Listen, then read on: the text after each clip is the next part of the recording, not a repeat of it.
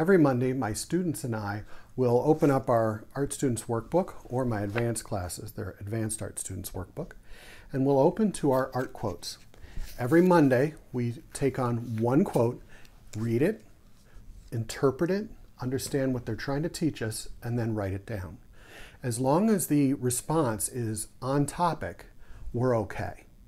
I'm expecting three lines of writing. Um, I want complete thoughts and a decent use of your English language to the best of your ability. So we're going to take on a quote by Edgar Degas. Edgar Degas is a famous painter who did things like this, and he was also considered an impressionist artist. If you owned one of his paintings today, it would be worth several million dollars. So he had a lifetime of experience. He's definitely very famous. He's somebody we look up to in the art world. So I'm going to read his quote and I'll project it up here. Painting is very easy when you don't know how, but very difficult when you do. So think about that for a moment. What might that mean to you? Maybe you bring your own life experience to it, or you try and put yourself inside of his head, but you're going to be writing down what you think it means. What is it he's trying to teach us? Or what is it that you're getting out of that quote? Again, Painting is very easy when you don't know how, but very difficult when you do.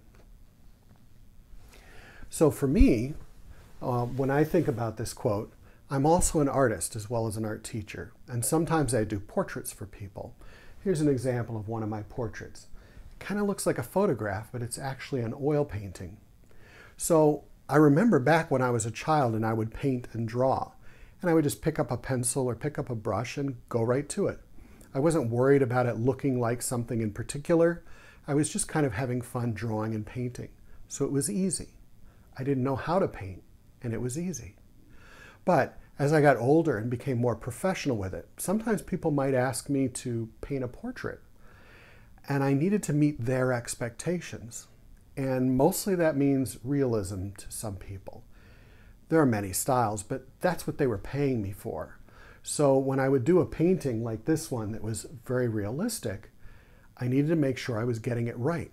I had to work and think about those shadows, work and think about color. These two kids in this picture um, have clothing on that shows some of their heritage. So I had to think about that to do the textures, to make sure that the light reflections were correct. It's not easy to do. So when I know what I'm doing, it's very hard. I enjoy it. I enjoy the process of painting, but it's no longer just fun free for all. It's very focused and directed, and I'm enjoying the process. And when I'm done, I can step back, take a deep breath, and say, wow, I did that. So that's my interpretation of Degas' quote. What is your interpretation? Again, it's okay if your interpretation is different from mine. If I have a class of 25 students, everyone might have a different interpretation of the same quote, and that's okay. As long as it's on topic and it's complete sentences or statements, you filled up all three lines, we're good. And when I assess these, um, you're going to be fine for that.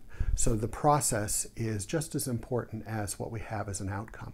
Again, you're looking at the quote and thinking, well, what is he trying to teach us? Or what am I getting out of that? Or how can I interpret what it is that he's saying? As long as you're responding in one of those ways, you're going to be just fine.